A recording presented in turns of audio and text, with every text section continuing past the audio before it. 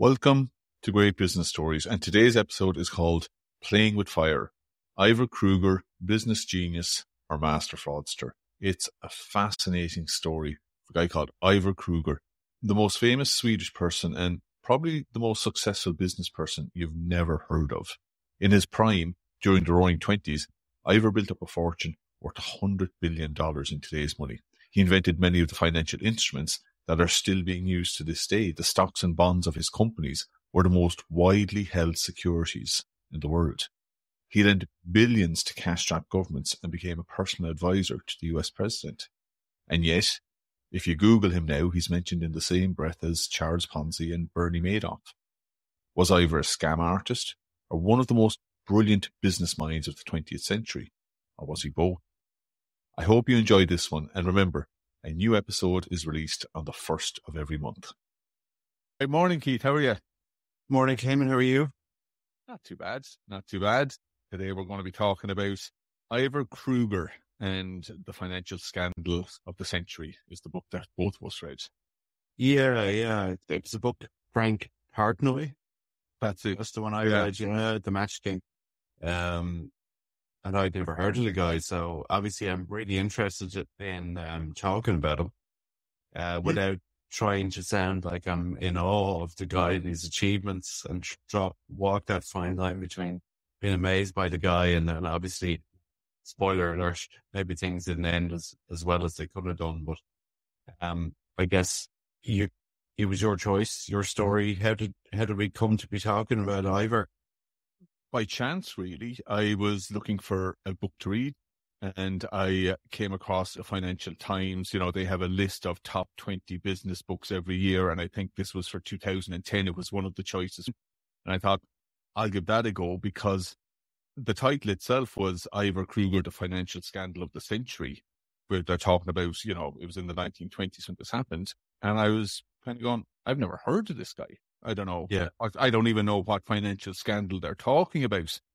So then I read uh, a little bit of the, the back of the book and there was all this detail about this amazing guy from Sweden who went over to America and raised all these millions and was more than just a mere businessman. He, Mm. he, he straddled the world stage financially, Yeah. lending money to governments. And I was going, never heard of this guy. So obviously it was intriguing. Um, and because I'd read the book prior to this episode, I read it a good few months ago. I had a bit more time on my hands as well. So I also did a bit of research. There was a, a good uh, YouTube video by uh, Professor David Goldsmith um, on Ivar and Harvard Business School did a case study on him as well.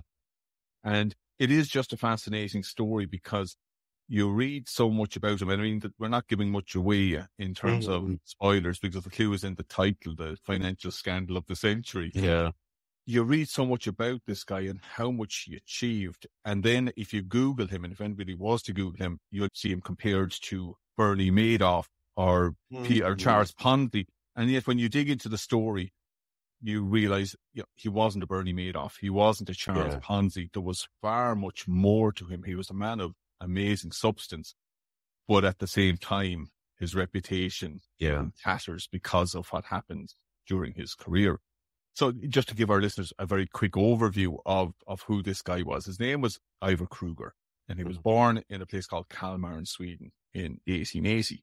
His grandfather had built this huge businesses in weaving, paper and matches and his father took over the match business Mm. Mm. and matches were a huge business um, Yeah. back in those times because everybody needed matches. And the Swedes were the uh, biggest producers of what was called the, the safety match. They invented the safety match, whereby And there, there's a particular type of wood as well, I believe, which was um, indigenous to the area, which was a poplar or it was a particular type of wood. yes, yeah, yeah, yeah, you're right on that. And it was a particular type of phosphorus. Before that, apparently, matches they were made with yellow phosphorus, and they could actually light off anything, and they could light off Yeah. themselves. And They weren't very safe. So yeah, the Swedes came up with this method anyway, and they became the the the uh, biggest producers of these safety matches. And Ivar was, by all accounts, uh, and do jump in, but from the book Mm. that I read and other research was very precocious, but very smart, but also always lived on the edge, even as a boy, always kind of Yeah. pushed the envelope a little bit. That's Um, right. Yeah, yeah. It was a bit of a bit of a bold kid as well, I suppose, is how you would Yeah, yeah, like probably an awful lot of- misbehaved and got into quite a bit of trouble. And yeah, Yeah. similar to a lot of very, very successful entrepreneurs. Yeah, yeah. And then, so he got a combined master's degree in mechanical and civil engineering by the time he was 20. And he went over to America, which, while it wasn't unusual for a lot of people in Europe to go over to America, most people were going over to seek a better life. Whereas Ivar Yes. had a better life in Sweden. You know, he could have taken over the match companies and had a very nice life. They were very wealthy, but it kind of speaks to, I suppose, his ambition and his independence that he wanted to carve his own path. And he was very ambitious and very adventurous.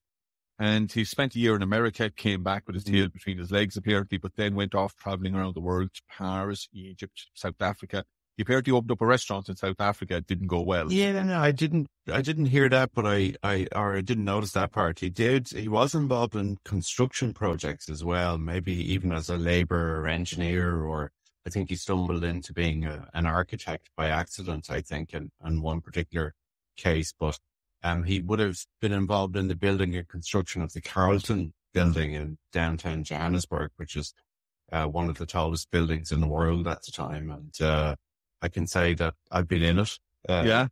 and it, it uh, it's a bit like a, a bunker, so it's still pretty much the same as as as it was, I'd imagine. So it's incredible to kind of have have been there and him being Yeah. involved in it and not obviously having any idea of it.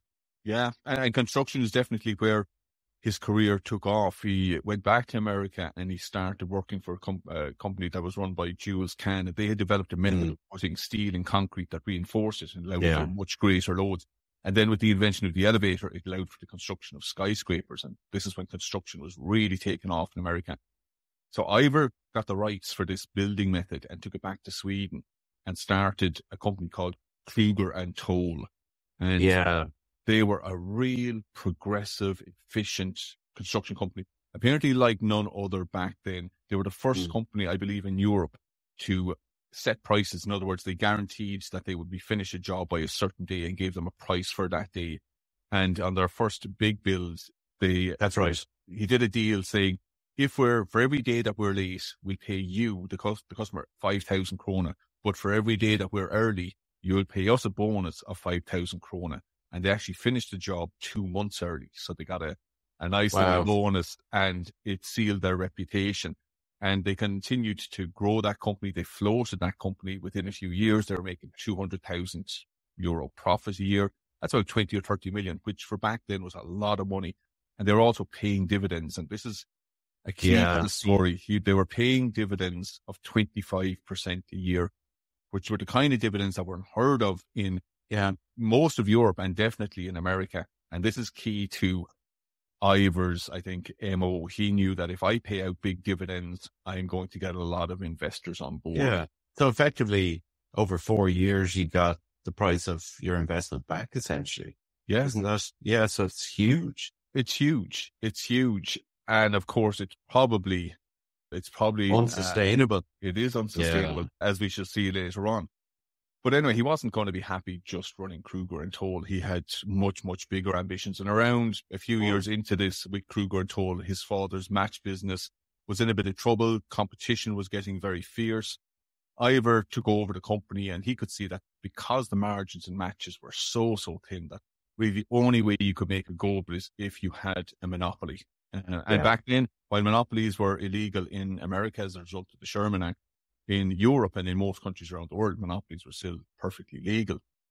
So Ivar started growing uh, the match business by taking out huge loans from this Swedish bank banking syndicate, and he consolidated the Swedish Yeah. match business and bought all his competitors, and also then went into the whole vertical vertical integration model where he bought the companies that made the machines for the cigarette for the match companies, bought the forestries, bought the chemical companies. Yeah. So he owned it all, and he called this company then Swedish Match. And actually, I was looking it up.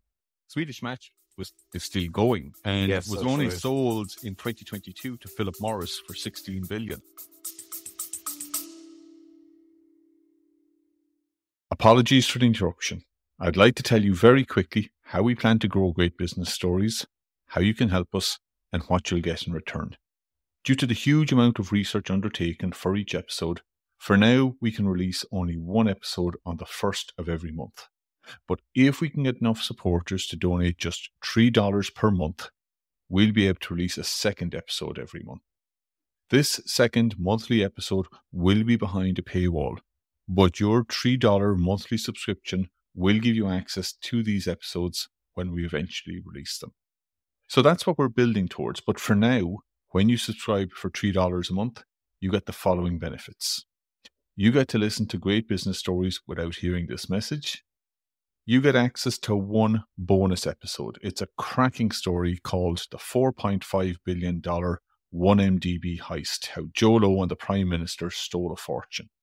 And finally, as a supporter on the first of every month, the same days that we release a new episode, you'll get one email with one link to an amazing in depth article exploring a great story.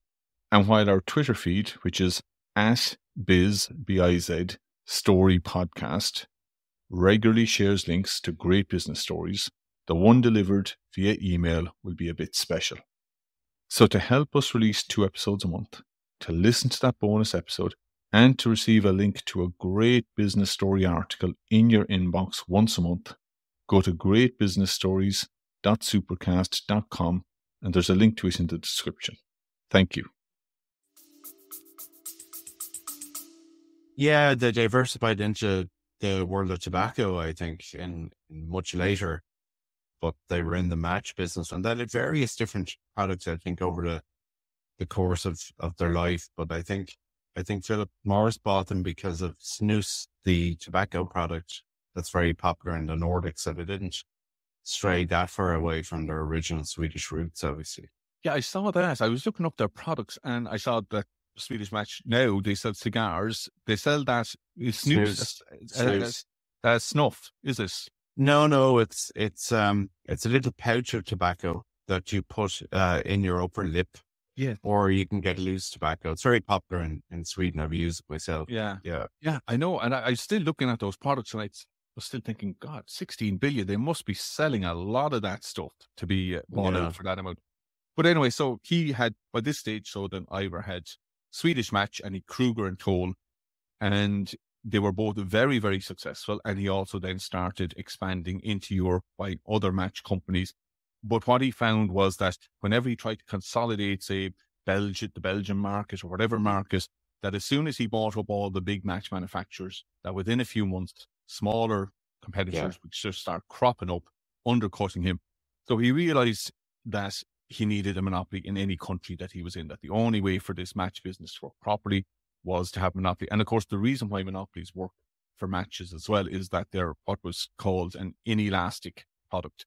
And that means that if you have a monopoly, you can raise the prices and it's not really yes. going to uh, impact your sales because it was a necessary product. People had to buy matches. And the cost per unit is so tiny, I suppose, that even so a tiny. significant increase doesn't feel like a, a huge kind of increase to consumer. Yeah. And around this time, he was like, in some respects, you're, you're, you're reading through this, you're looking at these must be hugely labor intensive negotiations and a bit of strong arming to consolidate these very different markets. And then he was also dabbling in the entertainment business. Was that around this time as well? So he was involved was, in the yeah. movie business. Yeah. And, and in fairness, uh, the author does point out that of all the businesses that Ivar was dabbling in, and he was in dabbling in dabbling in loads and continued to expand into loads mm-hmm. of the movie business, I think it was a passion project for him because yes. he never made any money from the movie business, uh, as very few people do. Um, but he, he did. He got very much involved. He actually founded the Swedish film industry. He's That's he's right. down as the, the, the founder of the Swedish film industry. And as a result of that, it was he who discovered a young actress who became known as Greta Garbo. That's and right. She was a waitress in a restaurant, I think. Yes. Uh, that sounds like a Human League song. And, yeah.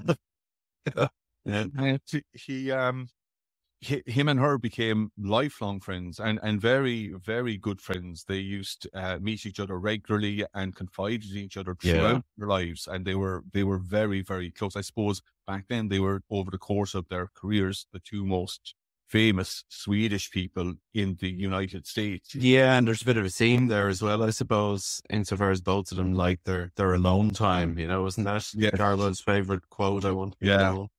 Yeah, and uh, yeah. he was he was pretty pretty fond of kind of taking time away from everybody and retreating into himself and pondering his existence. Yeah, yeah. So that was Ivar anyway, up to now, up to 19, 19, 1920. So he had a huge business expanding. Swedish Match was also paying out div- big dividends, not quite 25%, but still significant dividends. But all this was built on borrowed money from a syndicate of Swedish banks. And Mm. they were, or Ivar by this stage was by far their biggest borrower. And there was uh, a concern that maybe they were overexposed to him. He'd owe them tens of millions. So they did send in a forensic accountant to take a look at his business. But by this stage as well, Ivar had created dozens of subsidiaries and interconnected companies. He was using the money from these companies, basically, even though they were public companies, using them really as his own money as he saw fit. He was uh, gambling an awful lot on foreign currencies. Yeah. And apparently he was quite good at it. At least he said he was and making a lot of money from it. And he was also using an awful lot of off balance sheet and mark to market accounting practices. And all this made it really difficult for the forensic accountant to get a grip on his business. And he actually had to go back to the bankers and say, I can't actually value everything in this business because there's so much complexity in here. And he also said to the bankers, there's a big risk here in that Ivar has total control Yeah, and it wasn't that he had any suspicions of Ivar. It was just a case that if anything, a risk. yeah, the risk, if anything were to happen to Ivar, we need more oversight here. We need more regulation here.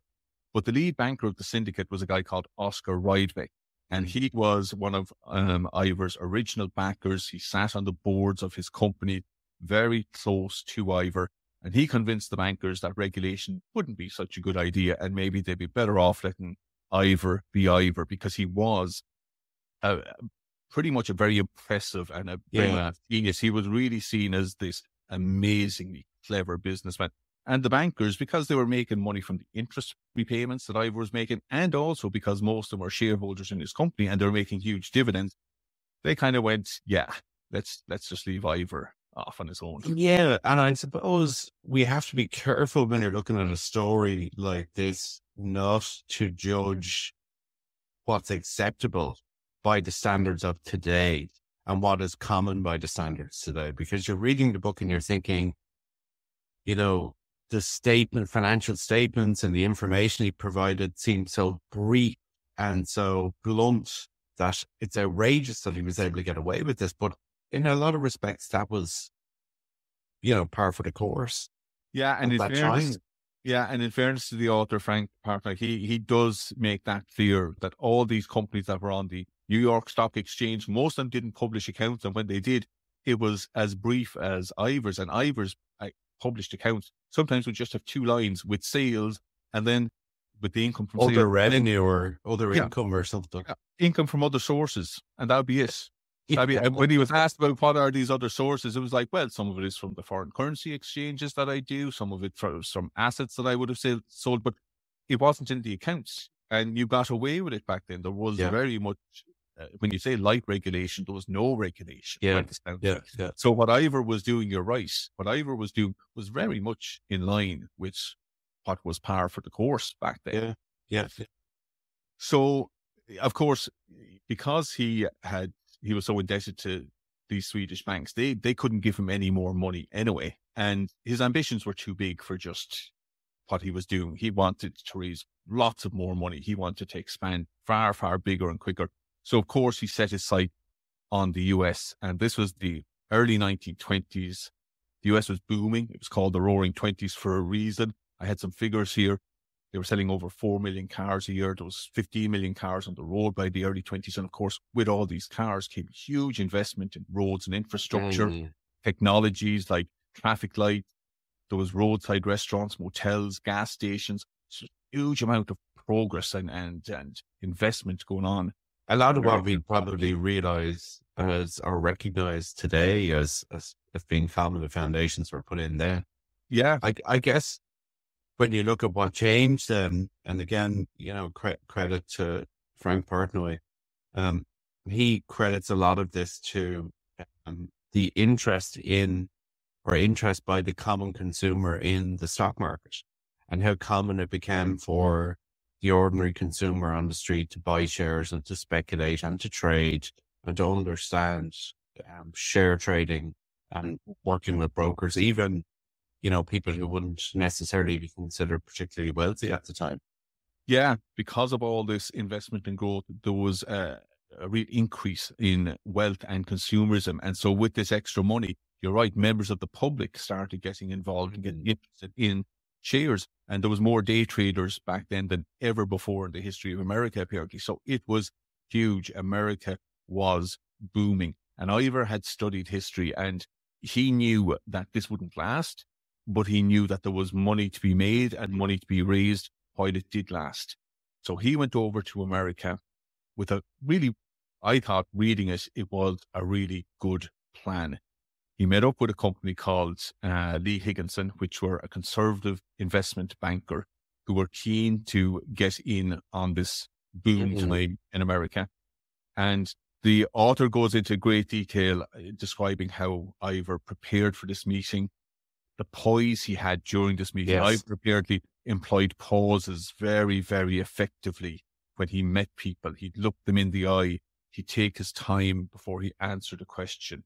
He was very, very careful, but he also prepared really, really well in that he'd never have any notes when he did this presentation to the investment bank, no notes, but every mm. fact and figure that he gave when it was double checked by whatever junior assistants to see if he was right, everything was correct. He, he knew it. Yes. So the plan. But of course, this wasn't ju- just to be, just for one thing, this wasn't his first trip to America in terms right. of trying to start a business and establish a business. You're right. This is a part that I found fascinating. Yeah, yeah. That he'd actually tried this before and failed. Yeah, you're right. He had a different plan. Back in 1919, right. he went over to America with a view to merge his match business with the largest match uh, business in America. And two things happened there. First of all, the match business in America treated him as a junior partner, which was only right because Ivar had no real footprint in the American uh, market. And Ivar got very miffed about this, that, you know, how dare this guy treat me as a junior partner. But another thing then is when they were in mm. negotiations, mm. Waterhouse Cooper were, did an audit on Ivar's business and they found irregularities in the finances of his business and they weren't able to certify his accounts. So Ivar very much retreated from America with his tail between his legs back then and never mentioned that episode to anybody. oh yeah, I forgot so when, when he when he came back, he made sure he nailed it. Oh, he nailed this, and he nailed, and he nailed it with a different plan. This plan that he uh, presented to the Lee Higginson Investment Board wasn't a plan to create a business in America. This was a far, far better plan. His plan now was to raise money in America using the boom that was going on at the moment. And as you said, all the interest from normal people who were buying shares to raise money, to use this money then to lend to governments in Europe because there was still a huge hangover from World War One. And an awful lot of countries were still in financially mm. or in dire straits.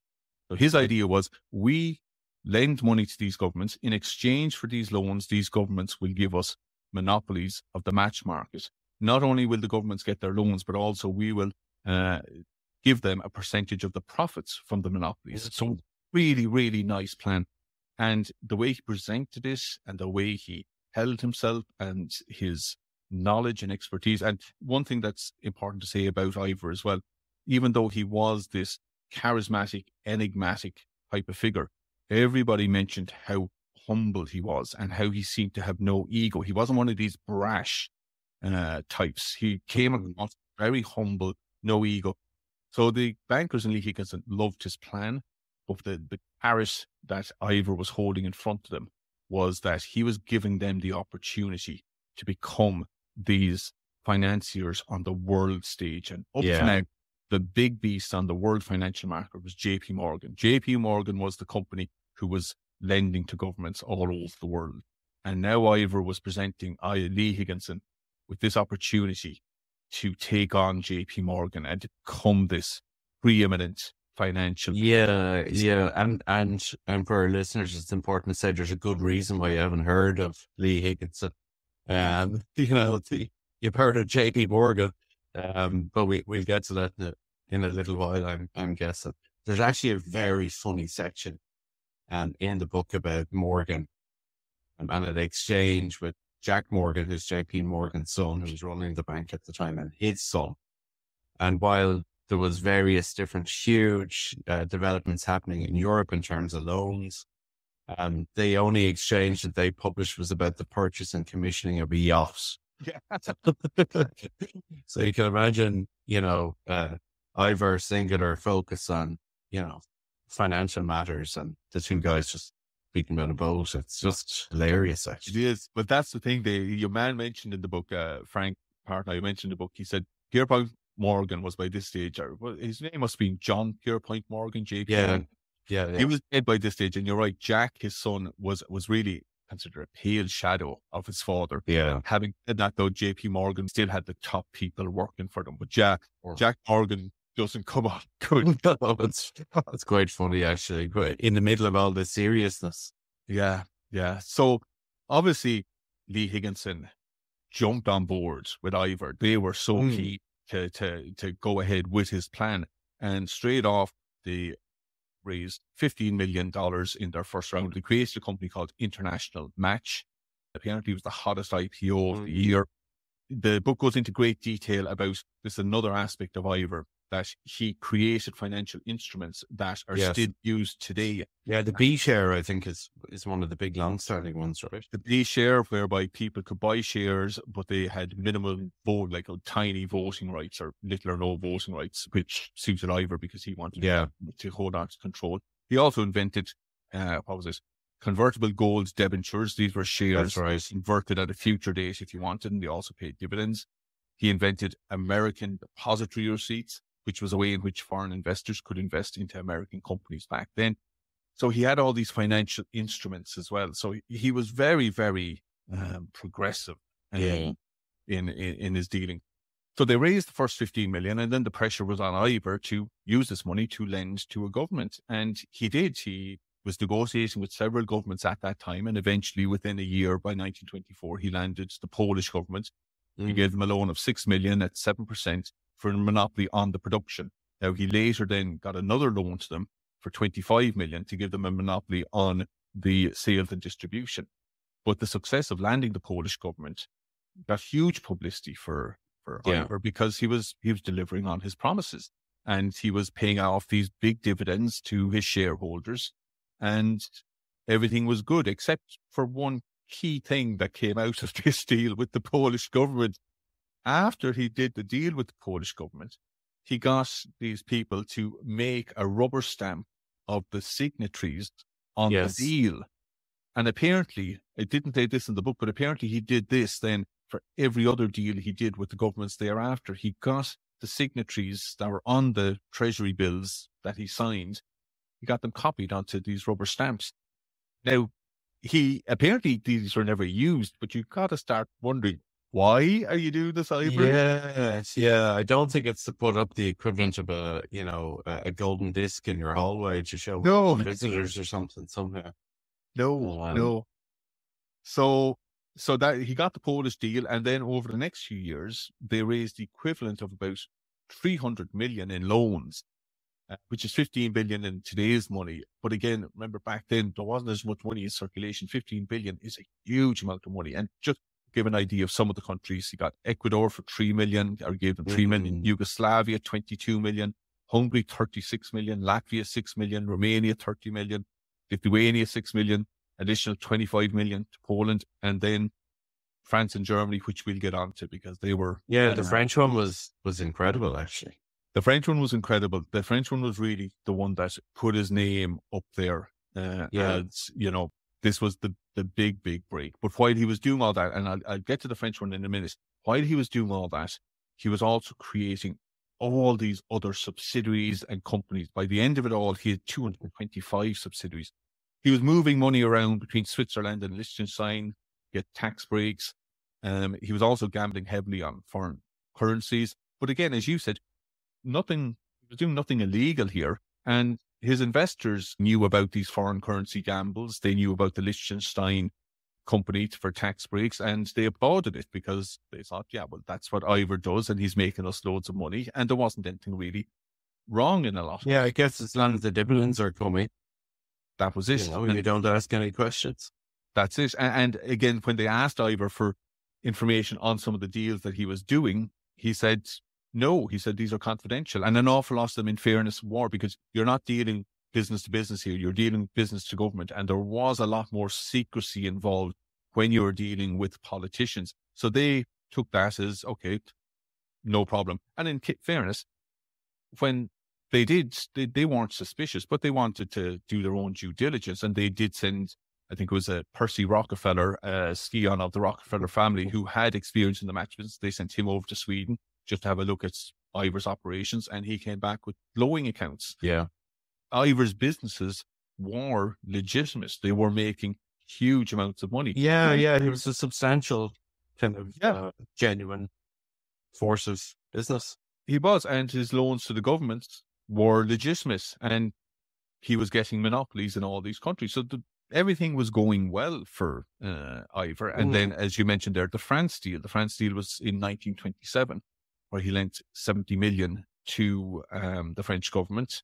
Um, and JP Morgan had been the lender to the French government. So this was yeah. a big, big deal.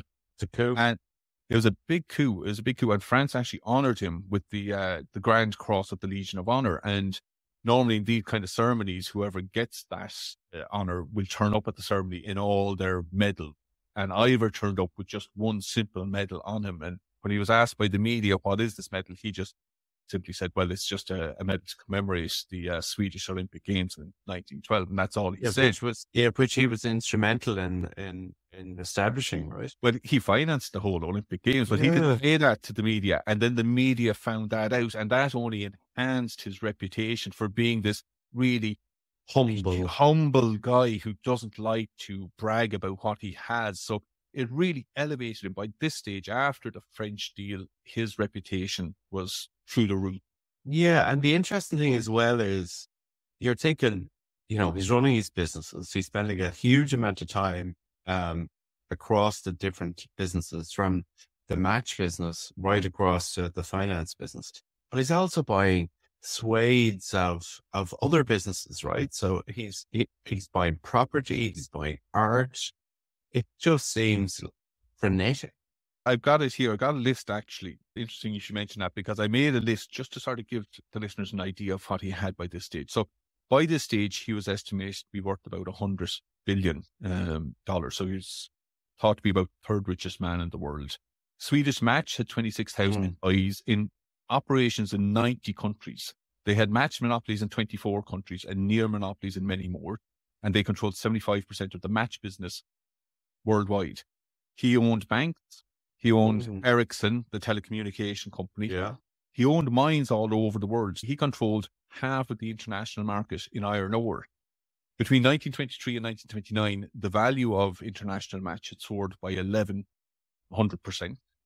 And because of all this, his reputation was such that he was now mixing it with world leaders and he became a mm-hmm. trusted advisor to Herbert Hoover. So, yeah.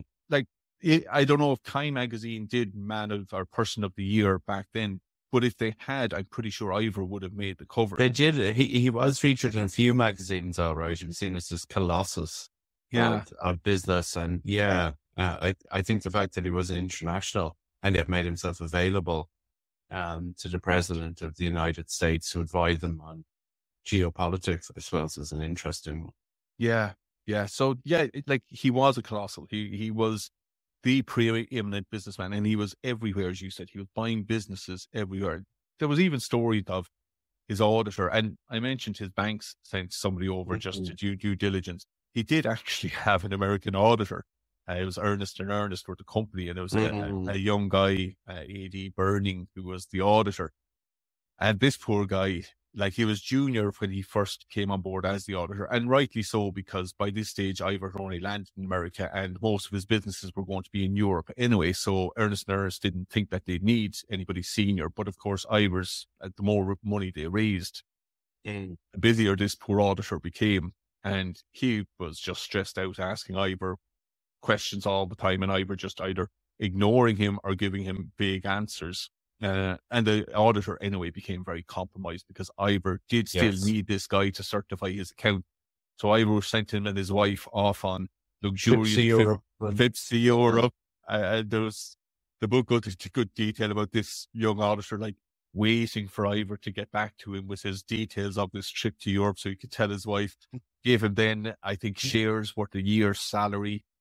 Ivar then kept on putting more business towards Ernst and Ernst. They were doing consultancy work for him, taxation work for him. That's right. So, of course, they became compromised as well. And it ended up with this auditor really was more on Ivar's side and was helping Ivar kind of cover over the cracks that He were was, appearing. yeah, yeah. He would write the memos and, and send them on to Ivar and say, does this look okay? Yeah, you know, yeah. um, and, and then he get a, a telegram back. Uh, of course, the, that, that was a common way of communications then. Um, but I, Ivar seems to have been, I wouldn't say cruel, but this, this poor auditor obviously was, was, um, starstruck by Ivar. There was a Well- huge uh, imbalance of power, I think, there. Yeah, and and Ivar go out of his way to try and avoid this guy. Come to Europe and meet me in Paris. Oh no, sorry, I'm- I've gone back to Sweden. They hop over to Sweden. Oh, I'm gone back to Paris again. Yeah. And God only knows where he actually was. That's Um, it. Yeah, but but as you say, this guy went and looked and examined the substance of of the assets as well. Actually, He did. He did go over to Sweden as well and met with the Swedish auditors. And the Swedish auditors he found were very professional, but there was just so much detail and so much complexity in the business that it was impossible for him to get to the bottom of it. And Ivar was the only one who knew where all the bodies were buried, I suppose. And he just he wasn't going to give all those details away. yeah, And so the auditor did start papering over the cracks because the cracks were beginning to appear. Apparently, in some of the monopolies that Ivar had secured, I read this in another source now, not in Frank Partnoy's book, he had secured them at too high a price in that some of the deals he made with the governments promised them maybe a bit too much back that didn't Mm. make the monopolies profitable. And in other countries where he didn't have monopoly, apparently, he was selling his matches at a loss to keep the Russians out because the Russians were undercutting him Yeah. in loads of markets.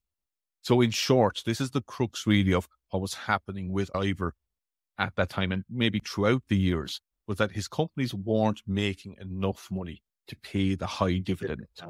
yeah, Yeah. So, in other words, he was subsidizing the dividends out of capital, not, not out of earnings. And that's why he was in this cycle now where he needed to keep raising money so that he could keep paying out these big dividends. So he could keep up this facade that his businesses were far more successful than they probably were. And probably where the comparison to Ponzi comes from then. So really, I, I need to craft a narrative beyond reality, really.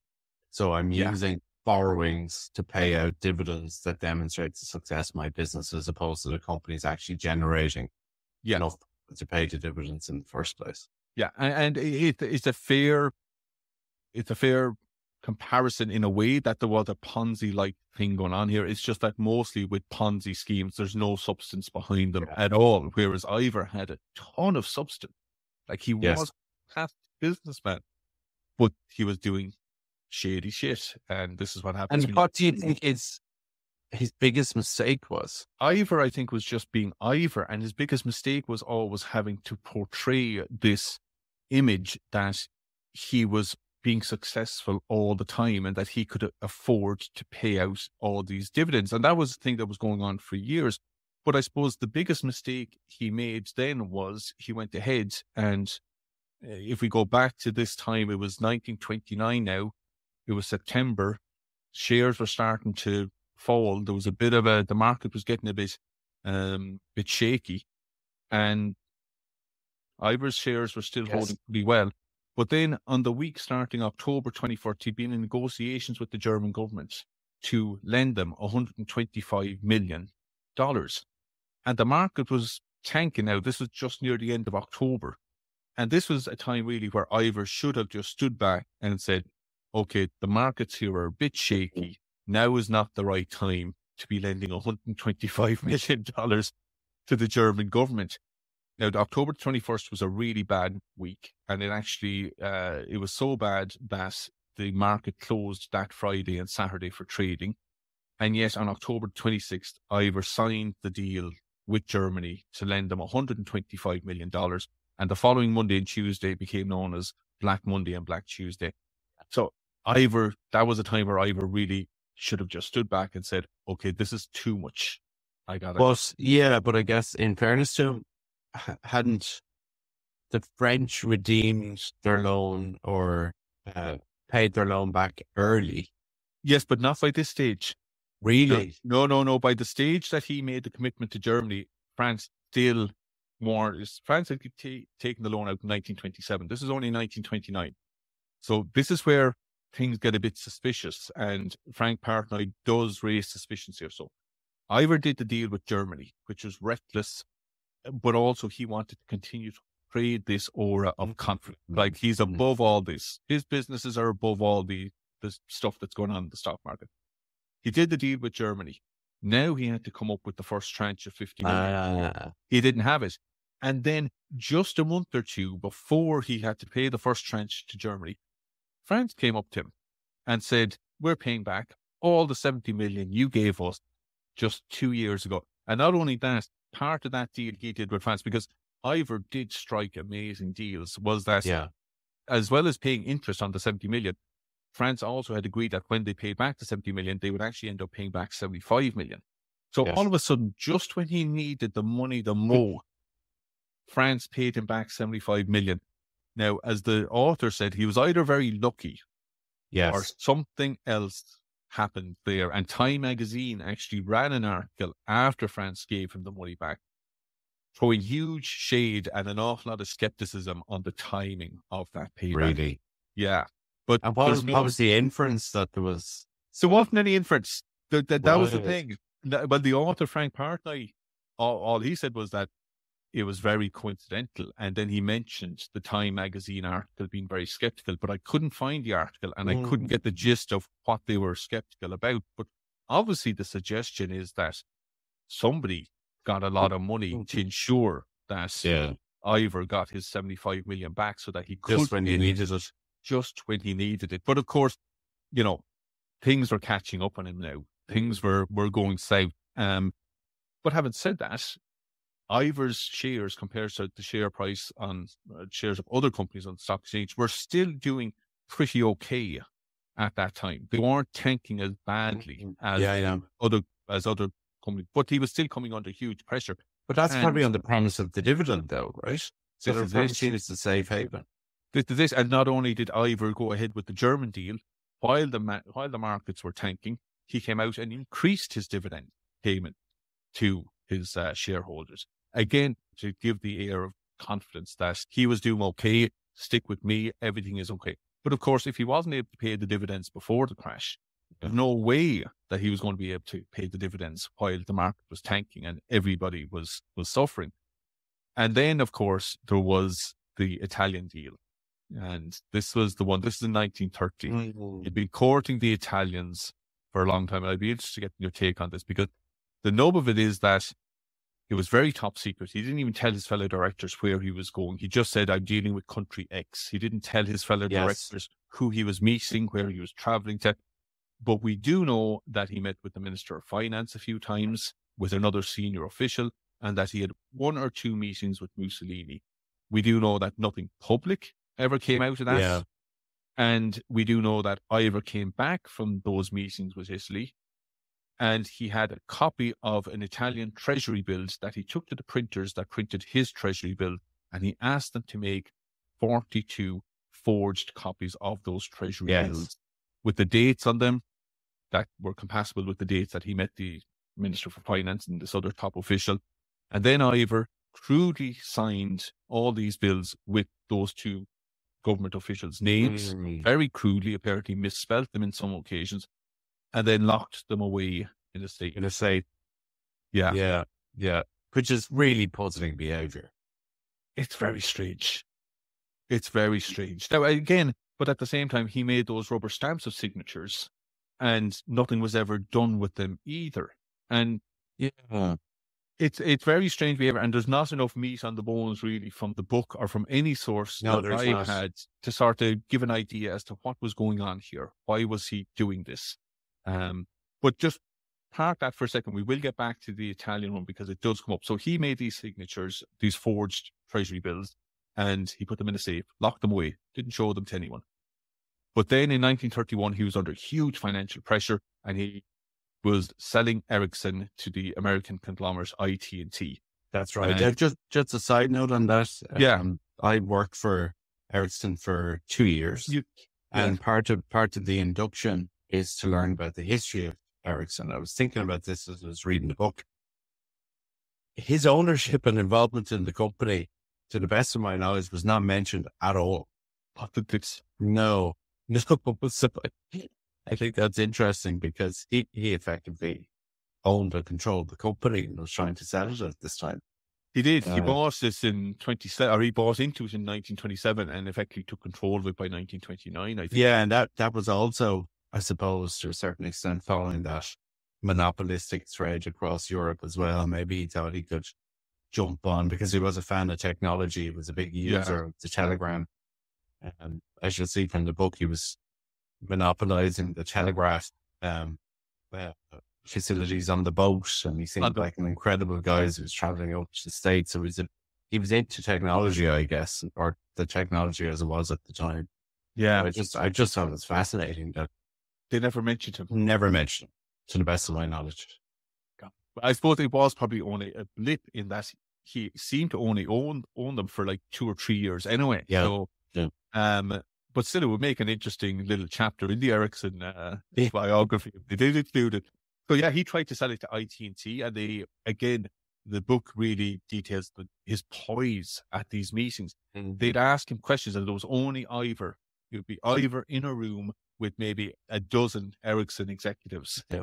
He had all his facts and figures again, no notes, off by heart. When they got to check them, everything was correct. They'd ask him questions and the author talked about how Ivar would take a cigarette out, roll it in his fingers, mm. light it, smoke it, it could be five to six minutes before he even thought about answering a question, which invariably led one of the Ericsson people to jump in before Ivar answered, throw in some sort of answer that would then mold the way Ivar answered his oh. own question.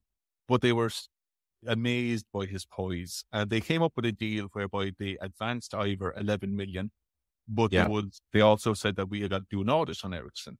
Yeah. And when Price Waterhouse Cooper did their audit on Ericsson, it wasn't quite as Ivar had said. Now, apparently, from the book, Ivar wasn't caught out in a lie. There was an issue with a mistranslation as to when Ivar, what cash in the bank means in Sweden and what cash in the bank means in America, mm-hmm. something like that.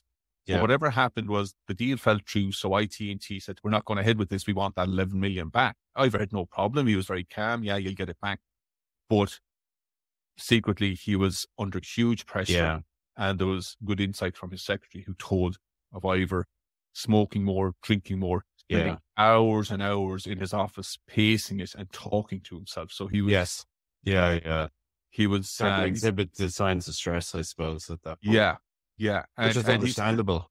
Which is understandable. He was under huge pressure. He, he was, he was held up as the savior of Europe. He was helping out governments left, right, and center. He was the preeminent businessman. And yes, it was all built on very, very shaky foundations that were all about come crumbling down on him now.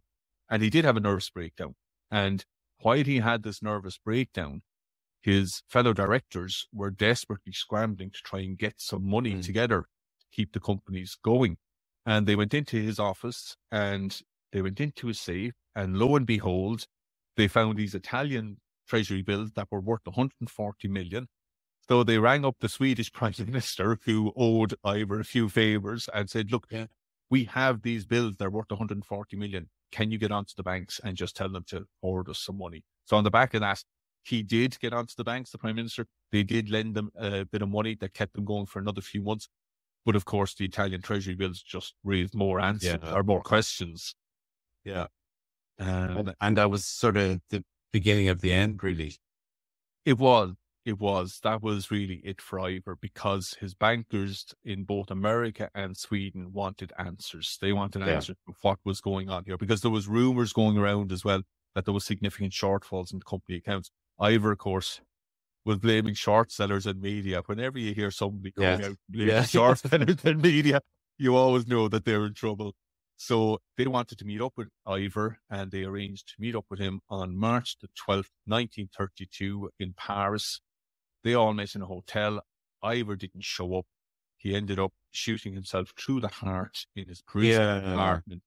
And he left behind three letters, one to a very good friend of his who was also a fellow director, and he was the man who found the body. And in his letter, Ivar basically said, I messed up and this is the best way out. It's a very short letter. Yeah. The details Yeah. of it are published in the book.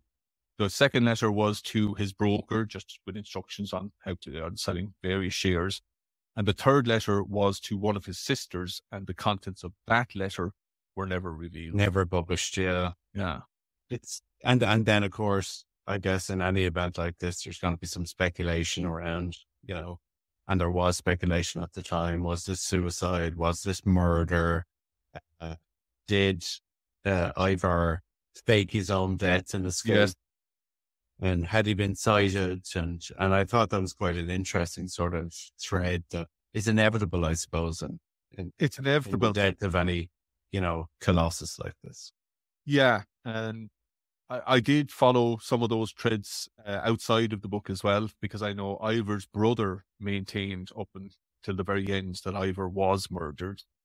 Um, and he wrote a book about it as well. But based on everything that I read on it, there was a lot of speculation, a lot of conjecture, but like with an awful lot of these conspiracies, there wasn't a whole load of actual. Yeah, and and and I think, I guess the guys who found the body were a little bit sort of, well, as you would expect, they're in shock. So the recollection of the circumstances were a Yeah. bit muddled or questionable as well. So the rifle that he used or gun he used went from one hand to the other. His left handed went to his right hand, or he had a shortened index finger, I think. So he Yeah. he, he couldn't have pulled the trigger on that.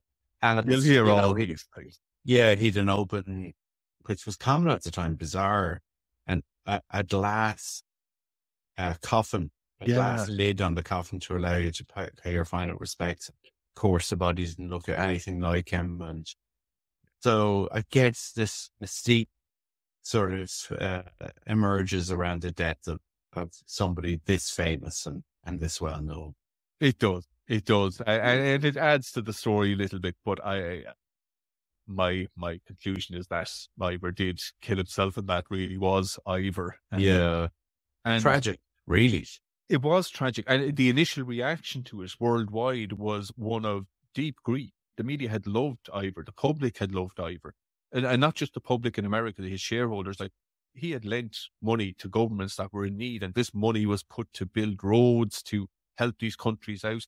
And so the initial shock at his death and the grief was genuine. And people were very upset about his death. And uh, there was great obituaries written. But then within Mhm. two weeks, Price Waterhouse Cooper had come out and said that he all his companies were insolvent and he had debts of over two billion krona, which was more than the Swedish national debt. Now apparently they had jumped the gun a little bit because there was no way Yes. that they could have figured out everything Yeah, that yeah. Ivar had within two weeks because there was such a spider web of companies and interconnected companies and assets and money everywhere that they were wrong on that. There was a lot more value in Ivar's businesses than they had initially thought.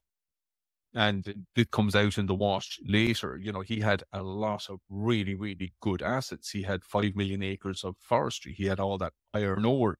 The loans to the government were very real. The interest repayments that Germany were making were mm-hmm. 3.75 million every six months. And they continued throughout the Third Reich, throughout Yeah, World War II. right. And they actually went up to 1983. They finished off paying off that loan. So there was a lot of value in the, his company, but it did take 13 years. And we will go back now to the Securities Acts and all that. But his investors eventually, at the end of a 13 year process, got something like 32 cent on the dollar. And the author reckons they would have got about 50 cent on the dollar if there hadn't been such a fire sale of all his assets. Yeah, yeah, which is understandable, I suppose. Yeah, fire sales Yeah. happen after crashes, you know. Yeah, But but even if they had got 50 cent on the dollar, which the author reckons they would have without the fire sales, he said that's very much in line with what any company would have been worth after the crash, you know, that length of time, even after the Mm. crash.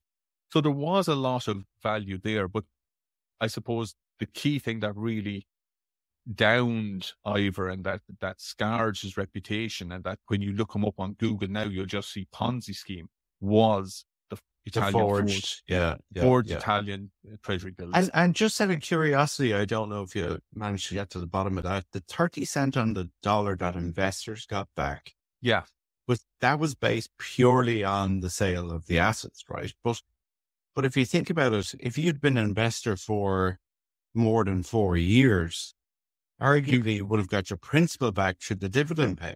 yeah, yeah. I didn't dig into that, but you're right. If they were getting that amount of dividends every year, now twenty five percent was on the high end, and that was for Kreuger. Yeah.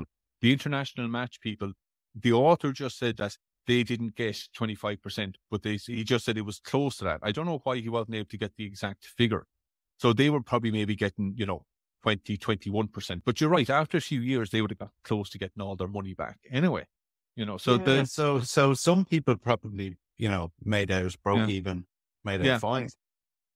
probably and like any Ponzi scheme, people who get in early. But but then if you contrast it against the return for everybody else who who lived through the twenties and invested in other companies, Yeah. you know that's It the extraordinary thing about it. that is it. That is it. Like that's that's the thing about Ivar. Yes, there was a Ponzi like element to what he did, but overall there was enough substance behind what he was doing. There was enough brilliance in him that he had built Yeah. these huge businesses that really, as you said, if you if you looked at this, they probably didn't do as badly as anybody else that had invested in other companies that didn't have any Ponzi like element attached to them. Yes, yeah, yeah. But the Italian Ford, arguably- yeah, and and who knows what his motivation was in, in doing that? And I guess he wasn't, as you said, the person who who who found them. Obviously, he didn't have to find them if he knew where they were, but he didn't produce them, I suppose, at the Yeah. time of greatest need, and we will never know what he would have done. That's it. It was his fellow directors who found them and used them as collateral. He he didn't, in the same way that he didn't use those rubber stamps that he made of all those other people's signatures. But it does put the big question mark over Yeah. why did you do it then? Um, yes, And the crash of his company came to be known as the Kreuger crash. And it led to Congress holding hearings. And out of those hearings came the 1933 and 1934 Securities Act. I always assumed that those Security Acts came as a result of the 1929 crash, but they were actually as a result of Ivar Kreuger. And they're the foundation of modern day regulations. Stuff such as uh, General uh, Acceptable Accounting Practice, or GAAP, came out that. Stuff like public companies have to submit detailed audited accounts quarterly. Stuff like companies could be sued for, for fraud. So it's the end of laissez faire regulation. And the proof in, is in the pudding in that 250 pages of those Securities Acts are dedicated to Ivar. So it was him that called these Security Acts to be uh, is is that his lasting legacy then? probably, probably, Mm. probably, which is a bad legacy, but I'm sure Ivar would have much preferred to have a different thing because I, I don't what you, what's your take on it because as I said when you Google him he's put in a category with Bernie Madoff and Charles Ponzi and I don't think that Yeah, and I think I think it's fundamentally unfair because he's a creator, right? He's Yeah. cre- and disrupted. He's he's invented financial instruments and classes of shares. He's he's a tragic figure, obviously, not just because of the way the circumstances ended, um, but I think you know one of the other themes in the book is he had all of these properties throughout the world, but he'd have these silence rooms or rooms of silence in which he'd retreat. So he was obviously a, a tortured man yeah um, who had a labyrinthine sort of spider web of information to process in an era when you didn't have a computer to do it. He obviously was working at arm's length, shall we say, from his auditors and his banks. So the burden, the mental burden of what he was trying to carry around must have been immense on him. And he had a very small circle of friends, yes, but I just think it it's a tale of an incredibly talented, ambitious man who just ended in tragedy. Yeah, that's the impression I get, and it's interesting. You should say the quiet rooms he had and and the life he led, he didn't seem to have anybody really. He, he'd no No. partner, no real, real friends. Like he kept everybody at a distance and he came across very much like Greta Garbo, his very good friend, Yeah. as, as a very lonely figure. And it is a tragedy because I hadn't heard of him before. And when I did do any bit of research, as I said, he now is compared to these great swindlers. Whereas if he had just stayed on the straight and narrow, he could be somebody that we had heard of before as being one of the great financiers and one of the great businessmen of the 20th century.